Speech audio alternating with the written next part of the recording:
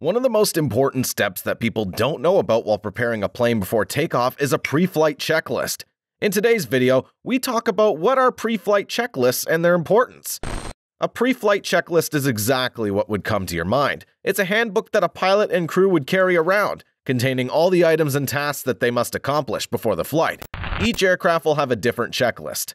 Those checklists will be provided by the plane's manufacturer and they're designed to help the pilots ensure that the aircraft is working properly and that it is safe for travel. Looking at the complexity of the aircraft controls and instruments, pilots would check multiple factors before even taxing on the ground.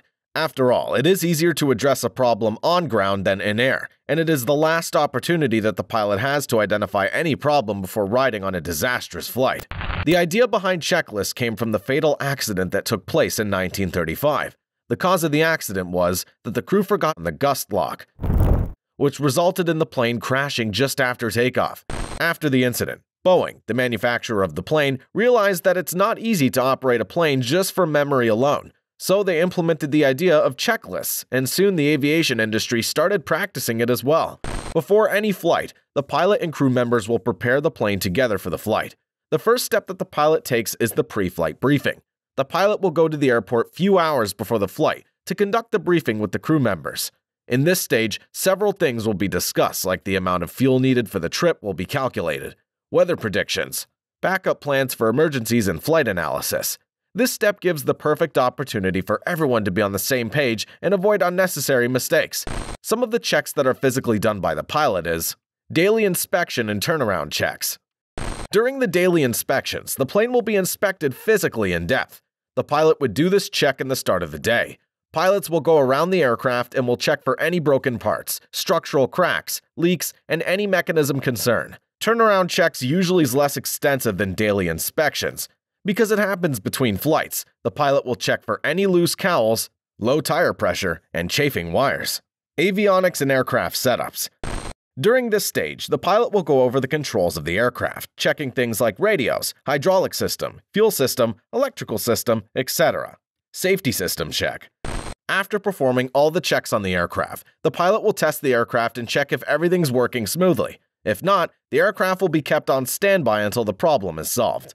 Just like how pilots perform multiple checks on the plane before the flight, the flight attendants will have multiple tasks as well that are essential for an efficient and safe flight. Some of the checks that take place is security checks. This is the first thing that the crew will do when they board on the plane. They will have a walk through the cabin and check if all areas are secure and safe and that nothing has been left behind, something that could be kept in the lost property or things that might be of a threat to safety. They check seat pockets, under the seats, etc. They will also look if anything is missing in the cabin, like seatbelts or life jackets. Surprisingly, those items can be stolen sometimes. Safety checks. In this check stage, the crew will check if the evacuation alarm, passengers' address systems, and emergency lights are working perfectly. Some airlines will require the cabin crew to use the pressure gauge on the door to make sure that the doors shut during the flights. Safety equipment. In this stage, the firefighting equipment will be checked. It will include fire extinguishers, protective breathing equipment, fire gloves, etc. All the cabin crew members are familiar with the places of the safety equipment.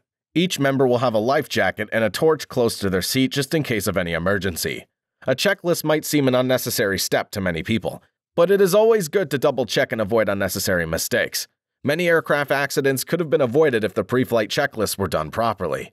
This is the end of today's video. How important do you think pre-flight checklists are? Let us know in the comments section below. Don't forget to subscribe, like this video, and turn the post notifications on to receive the latest from Tittynope. See you in the next one.